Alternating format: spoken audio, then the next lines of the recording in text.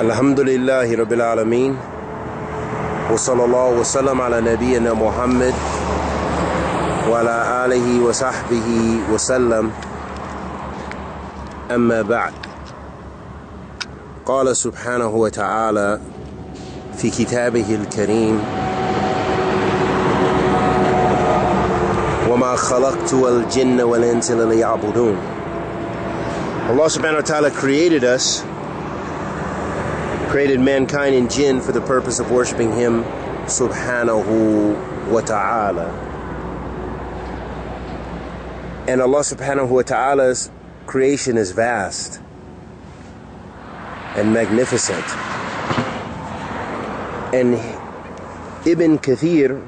rahimahullah ta'ala said about the ayat وَمَا خَلَقْتُ الْجِنَّ وَالْإِنسَ لِيَعْبُدُونَ he said الخالق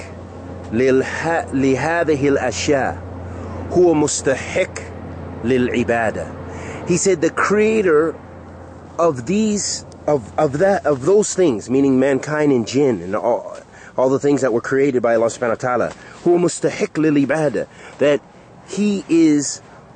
the only one or he is the he is worthy of worship why because he has the ability to create subhanahu wa ta'ala he is the the ability he gives life with death هو أول وآخر وظاهر وباطن وهو بكل شيء عليم Allah is all aware of all things Allah subhanahu wa ta'ala created all things and he gives life and he gives death and may Allah subhanahu wa ta'ala bless us all with uh, righteous endings